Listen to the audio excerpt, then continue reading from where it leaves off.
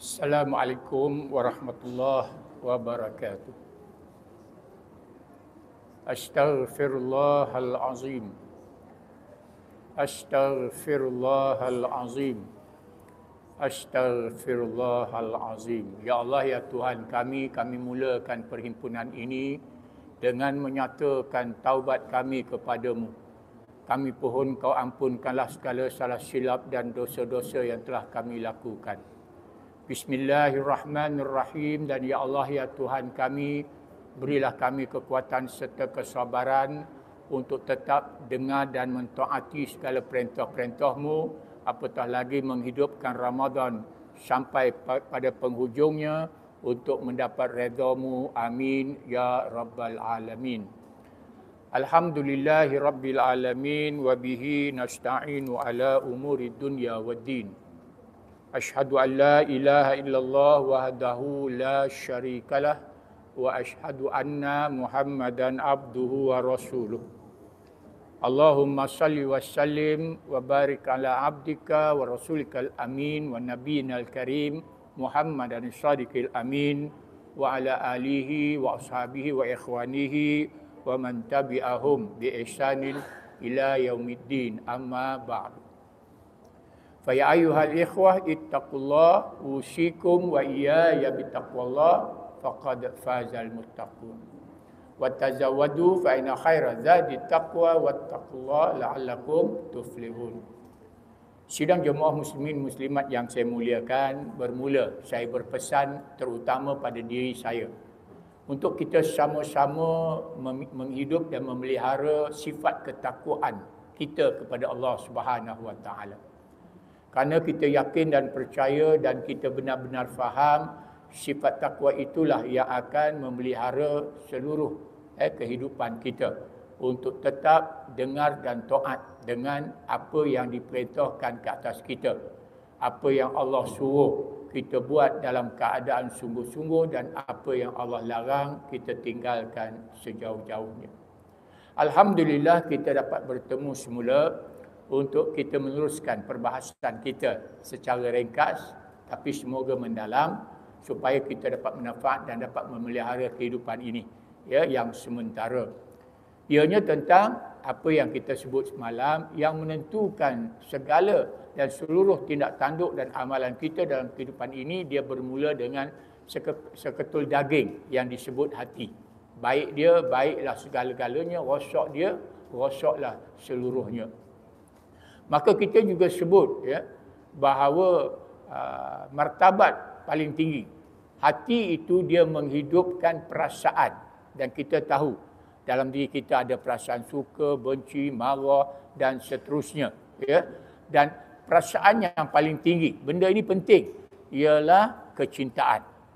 Ya, kita sebut kalau dah sampai ke martabat yang paling tinggi kita kata kita dah jatuh cinta tapi cinta yang paling tinggi martabat bagi kita, orang yang beriman ini ialah cinta Allah.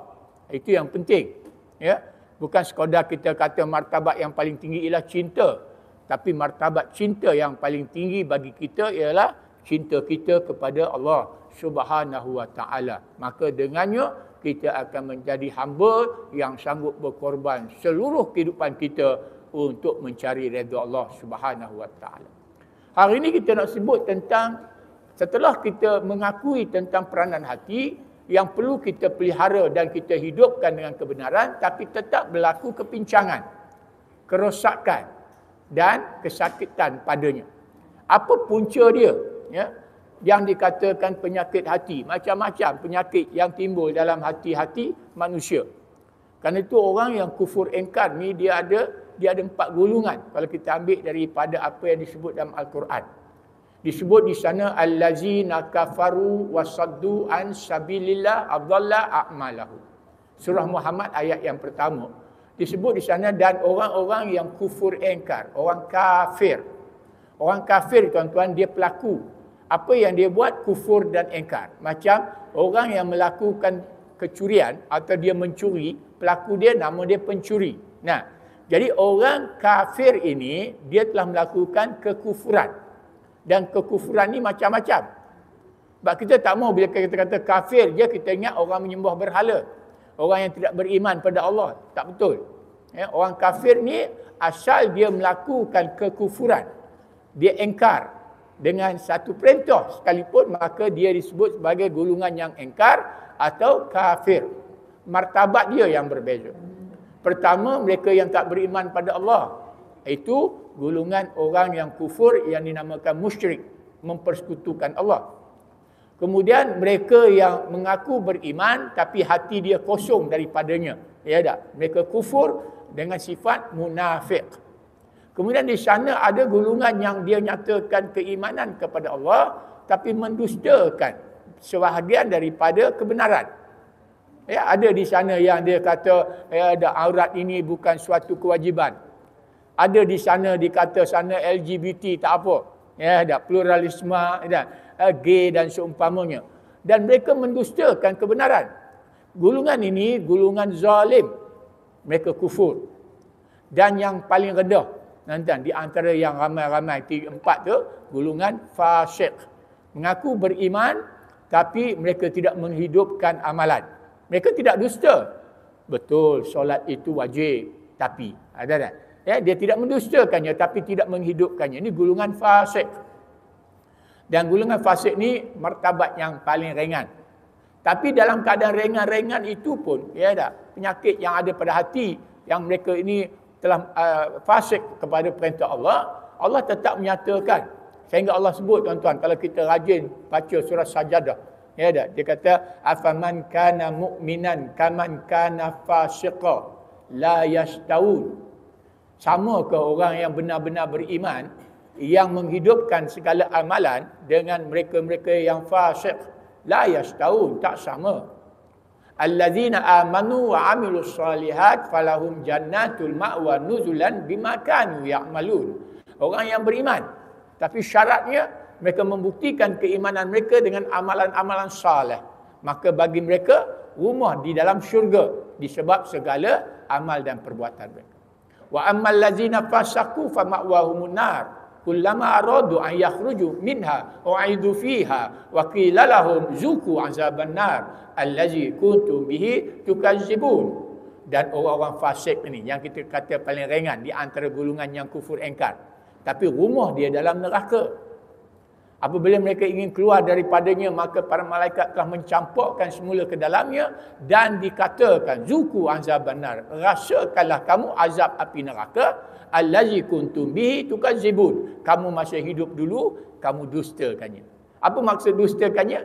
Kita mengaku syurga neraka. Tapi dalam amalan seharian kita, kita tidak pernah mengambil tahu atau mengambil berat tentang kedudukan amalan-amalan kita sama ada amalan ahli syurga ataupun ahli neraka. Jadi ini hakikat dia. Jadi bila ada penyakit dalam hati kita ni, wa na'udzubillahi min zalik, Allah pelihara kita dari keadaan yang sedemikian rupa, maka dia akan jadi timbul benda ni. Gulungan yang tidak tidak beriman, gulungan yang uh, munafik, gulungan uh, zalim dan gulungan gulungan apa ni fasik. Apa punca yang sebenar-benarnya? Maka kita tengok ayat Allah Subhanahu Wa Taala. Pasal kita ni hidup ni tuan-tuan, ya dan puan-puan. Dia dia jamak ni tuan-tuan dalam Arab ni bila dia kata lelaki, dia masuk perempuan. Nanti dia kata ustaz ni cakap dengan lelaki juga kan. Ha, jadi bila sebut tuan-tuan ni termasuk puan-puan dan cik-cik sekali lah. Ya. Jadi kita ni kena berpegang. Beriman dan yakin bahawa panduan kita ini tak boleh lari daripada Al-Quran itu sendiri. Ya, panduan kita. Lari daripadanya maka kita akan sesat. Yang kita baca semalam. Ya, tak? Takkan dah lupa kan baru semalam kan? Kalau dah sebulan mungkin lupa tak apalah. Kita boleh bagi maaf ni baru semalam. Yang kita sebut. Ah, kitab Allah wa hablullah man ittaba'u kana 'alal huda wa man tarakahu kana 'alad dhalalah. Kitab Allah Al-Quran itu tali Allah. Ya, kalau kita nak tak sesat daripada jalan dia kena peganglah tali itu. Ya tak? Tali Allah. Sesiapa yang menghidupkannya iaitu mengambil panduan daripada Al-Quran dia di atas petunjuk. Tetapi sesiapa yang meninggalkan Quran maka dia dalam keadaan sesat. Itu dia tu. Ya. Jadi kita ni kita tetap akan mengambil panduan daripada Al-Quran. Walau apa pun kata manusia dan kehendak manusia. Tapi kita kita tetap berpegang dengan panduan Al-Quran yang akan membawa kita kepada keredaan Allah Subhanahu wa taala. Apa firman Allah Taala tuan-tuan tentang ya tak? Yang punca utama manusia uh, jadi uh, sakit pada hati dia. Ya? Apa dia? Maka disebut di sana afara'aita man ittakhadha ilahu hawahu wa adallahu Allahu ala ilmin wa khatama ala sam'ihim wa qalbihi wa ja'ala ala basarihi ghishawah faman yahdihi min ba'dillah afala tazakkarun. Nah ini punca dia. Dan kita semua tak boleh lari daripada mengambil berat tentangnya. Di sana disebut maka tidakkah kamu melihat orang-orang yang menjadikan hawa nafsu mereka itu sebagai tuhan? Ya. Dan Allah dengan sebab itu membiarkannya sesat dengan ilmunya.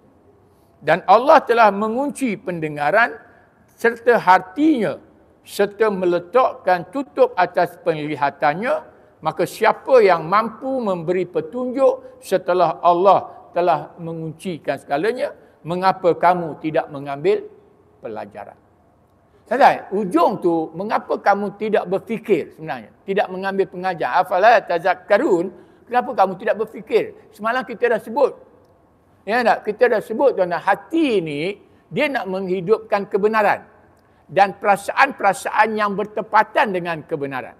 Tetapi kebenaran ini dia bermula dengan akal. Kerana akal dia punya tujuan dia, fungsi dia, peranan dia, dia menetapkan kebenaran. Dengar apa pun dia tak boleh terima, dia kena fikir dulu. Setelah dia fikir dia kata betul ke tak betul? Mana hujah? Mana dalil? Mana bukti? Tapi bila dah dapati padanya bukti, maka jadilah akal itu membenarkan. Benar, inilah dia kebenaran dengan sebab bukti-bukti yang kukuh. Itu yang dia sampai ke martabat iman yang jazam. Iman yang tiada padanya keraguan.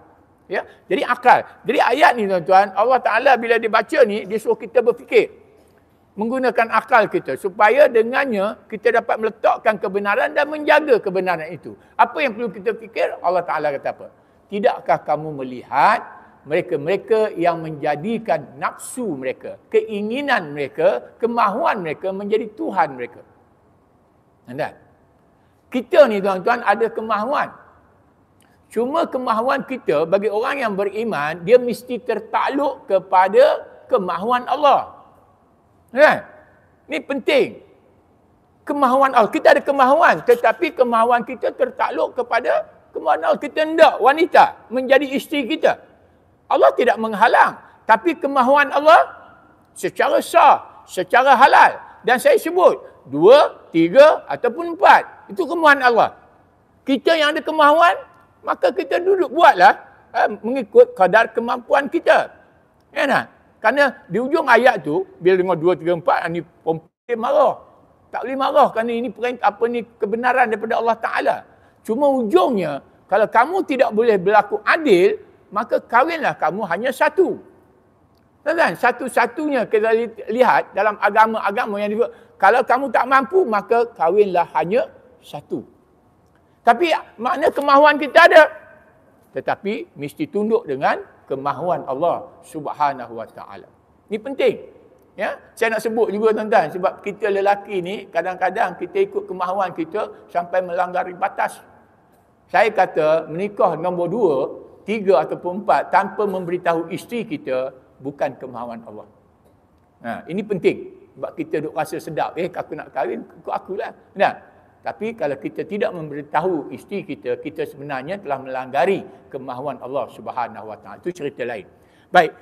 Di sini tuan-tuan, kita nak lihat kemahuan kita ni macam-macam. Tetapi kemahuan kita kadang-kadang sampai melampaui batas. Bila dah melampaui batas, jadilah kita orang yang lalai di dalam menghidupkan perintah Allah Ta'ala. Apatah lagi bermula pada nak, nak jaga alat-alat yang Allah bagi kepada kita. Alat yang pertama yang paling berharga, akal. Menentukan kebenaran. Alat yang menyempurnakan akal, hati. Dia menghidupkan amalan. Alat-alat lain tuan-tuan yang akan menghidupkan apa yang dikendaki oleh hati. Mata, telinga, hidung. Semuanya tuan-tuan kena, kena dipelihara. Mata untuk melihat. Tapi bukan melihat sebarangan. Melihat sehingga membawa kepada ketundukan. Melihat kebesaran Allah subhanahu wa ta'ala. Mendengar akan kalimah-kalimah yang mengagungkan Allah. Mulut yang memperkatakan tentang kemuliaan Allah ta'ala. Dan itu bermula. Daripadanya baru lahir. Daripadanya segala yang benar apatah lagi mulia. Dia kena bermula. Jadi di sini tuan-tuan yang jadi masalah kita ialah keinginan kita. Keinginan yang kita turuti sampai melampaui batas, sampai akal sudah tidak dapat berfikir, akal dijadikan alat untuk membenarkan keinginan. Tuan-tuan, dia mula cari alasan bagi membolehkan ya, eh, uh, orang kata melakukan maksiat. Ini masalah. Ya, Allah sesatkan dengan sebab pilihan kita. Sebab kita ni diberi akal, kita dah boleh pilih. Ya tak? Sekarang hati yang menentukan segala-galanya. Mulia ataupun hina, berjaya ataupun gagal, duduknya di akal. Maka kita terbuka untuk pilih. Nak mulia berjaya atau nak hina dan gagal. Kalau nak mulia dan berjaya, maka peliharalah hati. Itu besok. Ya tak? Ubat dan jaga tu. Tapi hari ni kita nak sebut.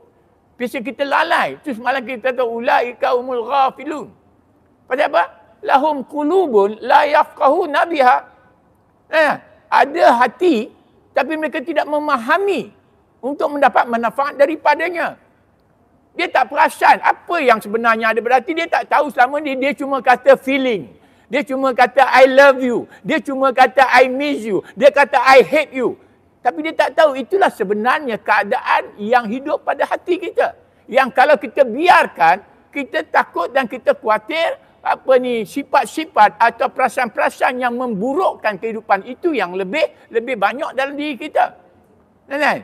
Benci, hasad, ya dah, dah, dah. Ha, itu maka kita sekarang suka cakap, suka membawa fitnah sana, fitnah sini, buruk sana, buruk. Sebab perasaan kita. Ai cukup tak sukalah dengan dia. Ha, dia mulalah.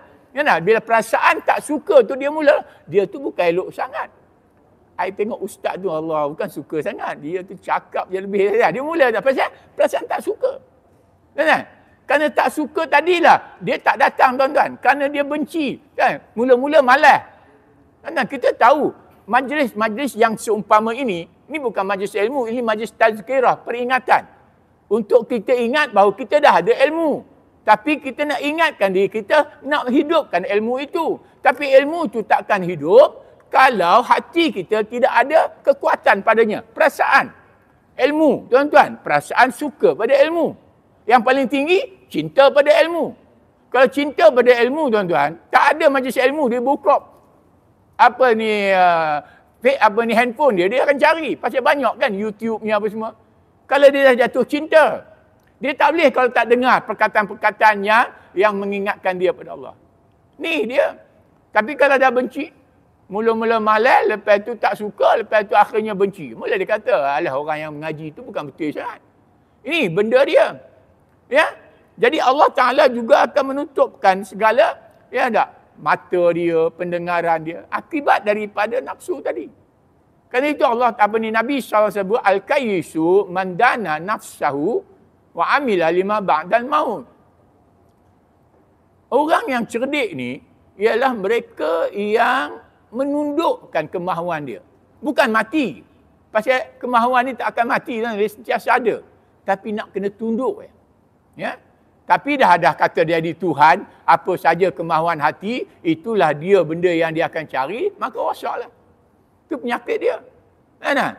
Penyakit yang kita kita sebut semalam, Nabi sebut penyakit wah wahan. Apa penyakit wahan tu? Hubbud dunia wa karahiyatul maut cinta kepada dunia dan benci mati. Ni dua ni tuan-tuan, besok kita akan bawa sebagai penawar. Tapi hari ni kita nak sebut, itu penyakit yang sedang melanda kehidupan kita.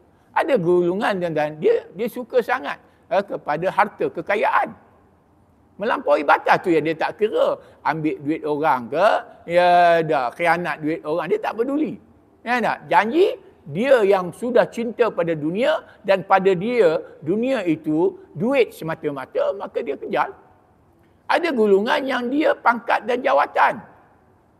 Maka dia laku apa saja. Tak kira lah dia janji macam-macam nak buat kalau dia dapat kuasa.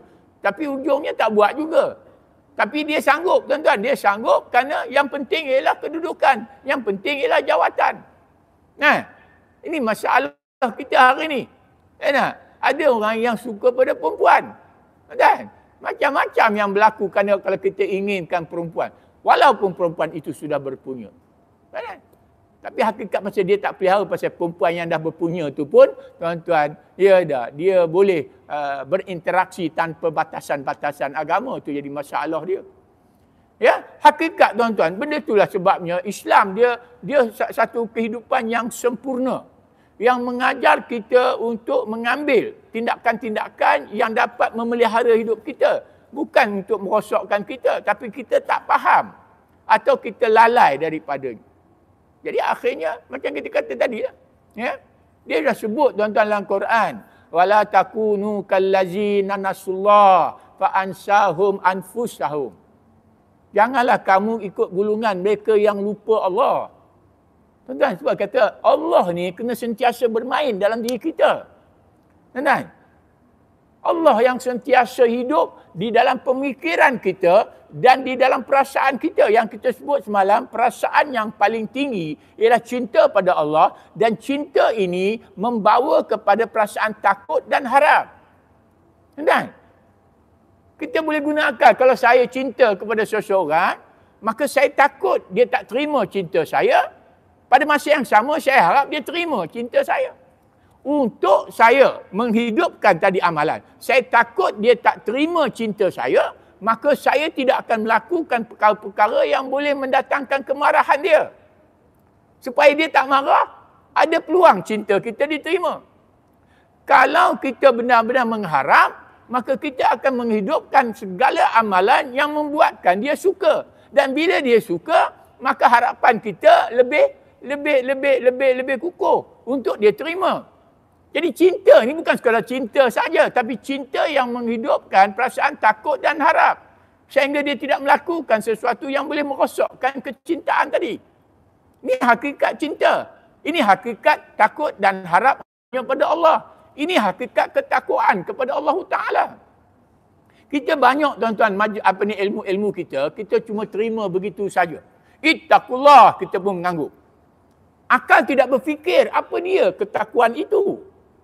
Bagaimana untuk mencapai ketakuan itu? Itu hari Jumaat bagi kaum lelaki tuan-tuan. Dia sebut itakullah. Ramai yang tak dengar. Sebab dah terlelap dan terlena. Dia tak ada apa. Tak ada perasaan. Perasaan cinta, perasaan hidup. Tak ada. Bila kata hati itu mati, bukan hati itu kosong dah. Hati mati membawa makna hati yang hidup perasaan yang bersalahan dengan agama. Tuan-tuan, hati yang hidup dengan kesesatan. Itu makna hati mati. Allah sebut dalam Al-Quran banyak tuan-tuan. Eh, dia kata allazina kafaru sawaun alaihim anzartahum am lam tunzirhum la yu'minun tu. Khatamallahu ala qulubihim. Kunci dah. Ada di sana ayat wa minan nasi man yaqulu amanna billahi wa bil yaumil akhir. Allah kata wa ma hum bimumin. Kenapa? Fi qulubihim maradan fazadahumullahu maradan. Pada hati mereka ada penyakit. Macam-macam penyakit lah. Tapi mereka biarkan. Akhirnya bertambah penyakit. Dan penyakit ni bila dah banyak, dia tukar ke jadi golongan orang yang terkunci hati mereka. Ni hati tuan-tuan. Yang selama ni kita abaikan. Sekadar kita hidupkan hati kita untuk untuk keinginan-keinginan kita, kita tak hidupkan hati-hati kita untuk membesar dan mengagungkan Allah Subhanahu wa taala. Allah Taala tuan-tuan di sana disebut ya, ya, apa disebut hati sebab-sebab yang berpenyakit. Tiak, tidaklah manusia diumbang dalam muka atau di atas bumi kecuali dengan sebab hasil percakapan. Itu salah satu. Ya tak? Dia kata wahal yaku yakubun nas finnari ala wujuhihim au ala mana khirihum illa hasaidul al-sinatihim. Ya. Sebab perkataan kita sebab perbuatan kita, ya, tindak tanduk kita yang menyebabkan ya, kita ini bertambah sesat dan akhirnya diseksa di dalam api neraka. Bukan senang tuan-tuan. Ya, tak? Benda walaupun kita faham tapi bukan senang. Sebab keinginan kita sentiasa mengganggu kita. Hari ini Allah Ta'ala beri peluang pada kita. Disebabkan Ramadan Al-Mubarak ini, Allah memberi kelapangan pada kita. Tuan-tuan, pasal? Pasal hari ini kita tidak ingin memuaskan nafsu kita untuk makan minum. Tuan-tuan, ya tak? Bahkan kita menundukkan keinginan kita demi Allah Ta'ala. Kalau engkau perintahkan kami untuk memelihara tidak makan dan minum pada waktu siang hari walhal di luar Ramadan ianya halal, maka kami tunduk dan patuh. Tapi malang. Kalau kita dilihat keluar tuan-tuan, tiba-tiba tak ada je Ramadan, kita yang dah terlatih selama sebulan, tiba-tiba di luar Ramadan tak boleh kalau tak makan tengah hari. Maka kita lambatkan waktu zuhur kita. Ada peluang untuk kita tambahkan ilmu, kita tidak mahu berhimpun. Kerana? Kerana time makan, yang penting ialah makan. Ya, kita tak sedar. Ya. Dalam kata kita menghidupkan tarawih. Ya tak? Kita datang. Ada orang beritahu ustaz yang panjang sangat sebab mereka datang ni kerana nak tarawih. Dia tak sebut kerana nak maghrib atau isyak, kerana nak tarawih. Kerana nak tarawih, kalau ustaz panjang sangat tazkirah, nanti ada yang balik. Sebab dia fokus pada satu. Dia tidak menghidupkan keseluruhan. Hati dia menyukai segala amal ibadah dia dalam bulan Ramadan. Nabi sebut tuan-tuan dia, man qama ramadana imanan wahtisaban ghufira lahu ma taqaddama min zambi. Sesiapa yang menghidupkan Ramadan keseluruhannya dengan penuh keyakinan dan kepercayaan. Dan, dan dengan penuh pengharapan. Saya sebut dah sebelum ni tuan-tuan, bila sebut iman bagi kita ni kesempurnaan iman duduk kepada dua benda. Ya tak? Kalau disebut amanu wa amilus salihat, maka kita boleh sebut iman itu pada akal, amal soleh itu pada hati. Tapi bila kita sebut sekadar iman, pada iman itu mesti duduk kedua-duanya. Iaitu akal dan juga hati. Dan dia tak boleh duduk satu ya. Ya. Jadi bila kata, kalau kamu menghidupkan Ramadan, tak kira apa. Makan minum yang kamu halang di kamu. Ha, daripadanya di waktu siang hari. Kenapa? Karena menurut perintah Allah Ta'ala. Karena kamu yakin dan kamu percaya dengan akal dan dihidupkan pada hati. Maka barulah dia boleh, apa dia? Wahtisaban. Imanan wahtisaban. Dengan iman yang menyempurnakan akal dan hati. Sehingga dia meletakkan pengharapan yang tinggi. Baru jadi, baru ghufira lahu ma taqaddama min zambi maka dihapuskan segala dosa-dosa yang sebelum padanya. Sebab dia hidupkan dengan kebenaran dan hati, hati menghidupkan amalan yang benar, maka harapan dia tuan-tuan. Cuma harapan tadi saya sebut semalam dinaungi dengan keikhlasan. Dan kita ulang lagi sekali supaya benda ni yang kita lupa. Ya, apa tu keikhlasan? Dia bermula kerana Allah. Dia dibuktikan cara Allah dan ditutup dengan demi mencapai redha Allah. Ikhlas tak kita? Ikhlas lah Ustaz. Bermula ikhlas. Saya buat ni kerana Allah Ustaz. Habis, saya buktikan saya buat ini ikut kehendak Allah. Ikut cara Allah. Ha, itu benda dia. Eh? Kita kata ikhlas tak boleh kata dia hati je. Hati apa tuan-tuan? Allah Ta'ala dia yang maha bijaksana dengan meliputi segala ilmunya tuan-tuan. Dia betul bermula segala sesuatu Allah yang maha mengetahui yang tersembunyi ataupun yang dizahirkan tetapi dilahirkan daripadanya. Itu kebijaksanaan Allah taala. Bukan dia letak tersembunyi bagi manusia mengambil pengajaran. Ya. Allah taala dia mencampakkan nur. Wa huwa nuri mir rabbi pada diri mereka itu ada cahaya yang dimasukkan. Nabi bila menghuraikan ayat ini kata cahaya yang masuk ke dalam hati. Ya? Cahaya yang masuk dalam hati ini hanya Allah yang mengetahui. Kan tapi Nabi SAW dia kata, dia kata manusia yang cahaya tu masuk dalam hati dia, dia akan rasa lapang, dia akan rasa tenang, dia akan rasa cukup. Sahabat tak puas hati. Sahabat tanya, cahaya yang masuk dalam hati itu tak ada siapa ketahui. Tapi ada tak tanda-tanda pada amalan? Ini penting. Ada tak tanda-tanda pada amalan yang menunjukkan cahaya Allah Ta'ala dah masuk dalam diri dia? Nabi kata ada. Ya nak? Mereka mengutamakan akhirat lebih kepada dunia. Mereka sentiasa ingat mati untuk menjaga amalan mereka. Ni benda dia. Jadi ikhlas ni tuan-tuan bermula di hati tapi ada tanda dia. Apa tanda dia? Tanda dia, dia menghidupkan segala sesuatu itu mengikut kehendak Allah. Tuan-tuan, tapi kita dah jauh tuan-tuan. Dah jauh sangat. Maka dah jadilah apa yang Nabi pesan. Dia kata, Bada al-Islam ghariban. Fasaya'udu ghariban kama bada. Fatuba li ghuraba. Islam mula-mula datang dagang tuan-tuan. Tak ramai orang. Bermula dengan Khadijah Khuwailidnya. Nah, kemudian Abu Bakar Siddiqnya. Sikit, sikit, sikit tuan-tuan. Masa tu dia kata pelik ini. Ha, agama yang dibawa oleh Muhammad eh, sallallahu alaihi wasallam yang dia datang memecah belahkan segala ke ada apa ni perpaduan adik-beradik anak buat tu dia benda yang dagang Nabi kata nanti akhir nanti dia akan kembali dagang Tuan-tuan, macam hari ni tuan-tuan, saya sebut. Ya tak? Dan orang akan orang akan lihat benda tu pelik. Apa ustaz ni? Tapi Nabi sebut fatu balil ghuraba. Maka ber, ber, ber, berjayalah orang yang dengan keasingan. Apa asingnya tuan? Salah satu daripadanya. Tuan-tuan, dulu anak-anak perempuan, ya tak? Dicari jodoh mereka oleh bapa-bapa mereka. Kan? Itu cara Islam. Sebab kalau dia pilih sendiri, dia lebih pilih dengan nafsu. Tapi kalau bapak-bapak yang pilih, dia pilih dengan semua elemen-elemen yang penting untuk menjaga anak dia. Satu. Ya tak? Sebab hari ini baru ada berkawan 10 tahun. Kahwin sebulan, dua bulan, setahun, cerai. Dan bila bercerai, tak boleh selesai masalah. Dia tak? Sebab tak ada orang tua yang boleh menyelesaikannya. Tapi kalau bapak-bapak yang dia kata, wahai tuan, tuan ada anak, saya ada anak, kita satukan mereka atas nama Allah. Bila berlaku apa-apa masalah, kedua bapak ini dia dapat berunding untuk menyelesaikan masalah. Benar?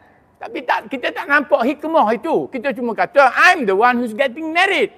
Not my father. Ha, dia dah kita mula keras kita. Sebab kita ada mengaji tinggi sikit. Bila kita tinggi sikit, kita lupa. Walau tinggi mana pun ilmu kita, ilmu itu milik Allah. Tuan-tuan, dia tetap kena bernaung dengan kehendak Allah. Jadi hari ini sampai ke satu peringkat, wanita-wanita sudah tidak rasa malu, tidak rasa aib apabila berlaku perceraian. Dia masuk lagi dalam sosial media untuk ceritakan tentang keburukan-keburukan pasangan. Tuan, saya cakap ni sebab saya seorang bapa kan. Saya seorang datuk. Saya nak kena sebut lah sebelum kita berpisah. Umur saya dah 63. Satu isteri, anak 15 cucu 27. Tuan-tuan. Bukan senang tuan-tuan. Nak balik kepada agama. Nak memelihara kehidupan dengan agama ni bukan senang tuan-tuan. Tapi agama itulah yang akan pelihara kita. Tapi penyakit hati kita, keinginan kita. Lebih kepada keinginan. Apa ni keseronokan.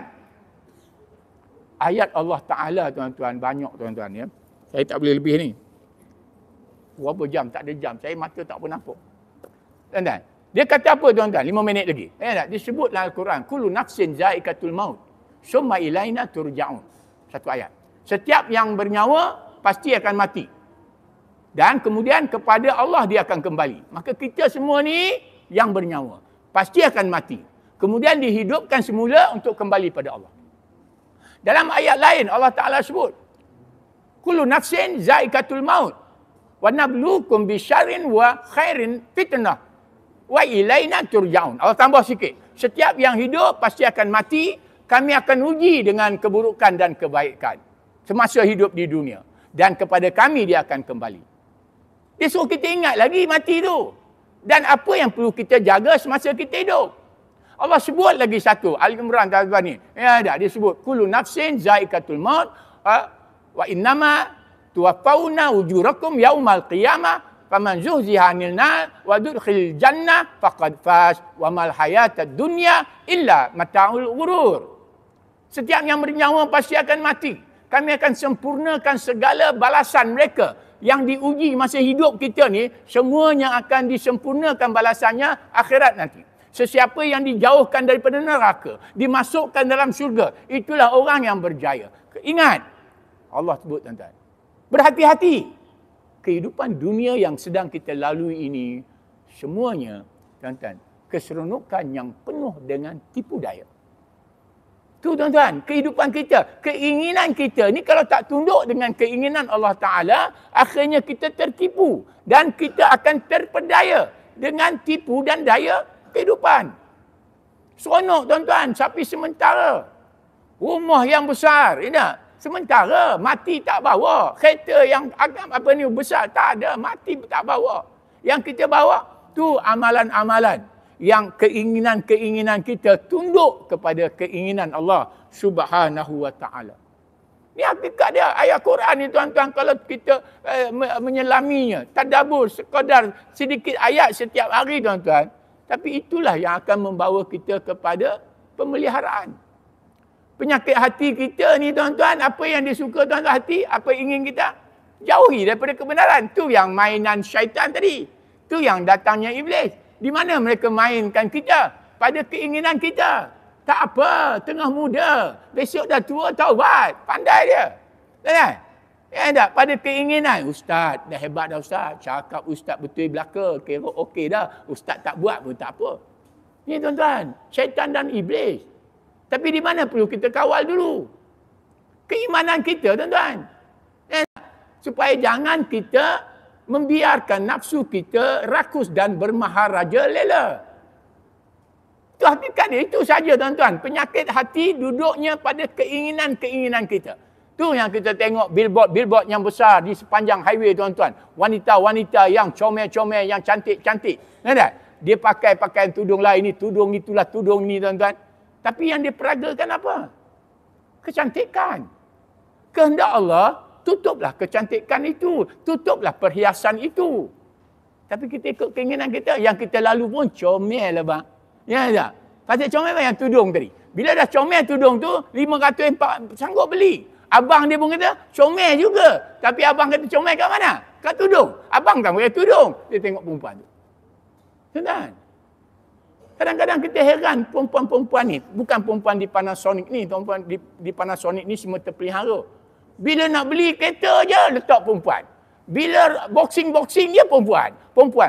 Perempuan ini bukan bahan-bahan untuk diperaga-peragakan perempuan ini makhluk mulia yang Allah jadikan untuk lelaki sebagai kekuatan yang bernama isteri. Itu kena ingat. Saya bukan bukan untuk dipertontonkan tapi saya datang akhirnya menjadi pasangan kepada lelaki dan saya jadi ke, kekuatan pada dia. Lelaki, lelaki jadi pemimpin saya. Ya tak? Maka saya ikut lelaki itu tapi dengan pimpinan dia saya jadi kekuatan untuk menolong dia. Ini hakikat tuan-tuan. Ya, insya-Allah wallahu a'lam bisawab. Itu satu je saya nak sebut hari ini tuan-tuan. 40 minit nak sebut. Jangan ikut terlalu ikut nafsu kita. Kalau ada keinginan kita tak salah. Tetapi tundukkanlah keinginan kita kepada keinginan Allah. Yang kita tahu dah mencuri itu memang salah dah. Ya dah. Kacau bini orang tu memang salah dah. Itu tak ada keinginan pun. Kalau ada keinginan itu dah rosak habis lah. Tuan-tuan. Ya tak? Keinginan-keinginan yang ianya tidak salah tapi hendaklah kita jaga batasan-batasannya agar kita akan terpelihara insya-Allah. Wallahu a'lam bisawab. Besok kita akan letak bagaimana untuk kita tetap memelihara hati-hati kita supaya sentiasa di bawah naungan pemeliharaan Allah subhanahu wa ta'ala. A'udzubillahi minasyaitanirrajim. Bismillahirrahmanirrahim. Alhamdulillah rabbil alamin. Wassalatu wassalamu ala asyrafil anbiya wal mursalin. Wa ala alihi wa sahbihi ajma'in. Allahumma fakihna fid din. Ya Allah, ya Tuhan kami. Jadikanlah kami hamba-hambamu yang benar-benar faham tentang urusan kehidupan yang sementara ini. Wa alimna ta'wil dan berilah kami kepandaian dan kebijaksanaan untuk kami mengambil segala pengajaran yang tersurat lagi tersirat dalam setiap kejadian. Wahdina ila siratal mustaqim dan engkau pimpinlah kami pada jalan yang benar lagi lurus, jalan Islam yang engkau redha atas kami. Wassallallahu ala Muhammadin nabiyil karim walhamdulillahi rabbil alamin. Aqulu qawli hadza wa astaghfirullahal azim li wa lakum. Assalamualaikum warahmatullahi wabarakatuh.